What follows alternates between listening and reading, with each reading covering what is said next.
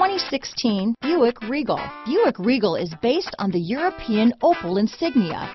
The Regal is as much a sports sedan as it is a family sedan. This vehicle has less than 4,000 miles.